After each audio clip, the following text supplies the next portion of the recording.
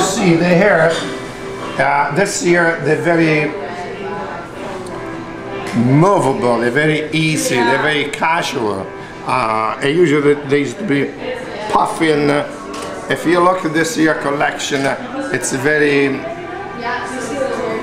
blow it dry and go. Like uh, you can go to a fashion show, you can go to a church, you can go any place. Uh, move a little bit, honey, give a little, uh, like that. I shake a little bit more.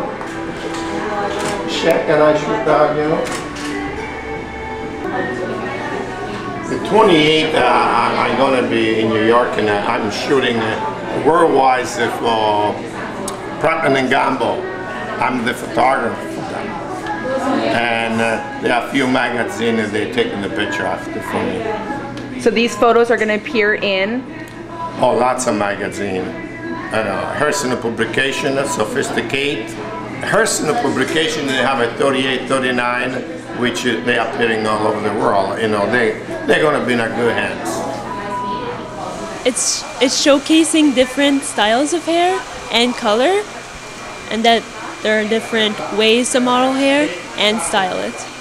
The benefits must be that I get out there, people see me, they compliment me, maybe even try to get their hair like mine.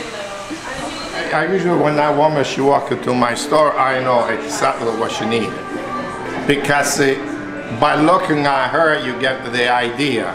You asking questions where she working and what kind of job she's doing, and you create the hairstyle exclusive for that lady.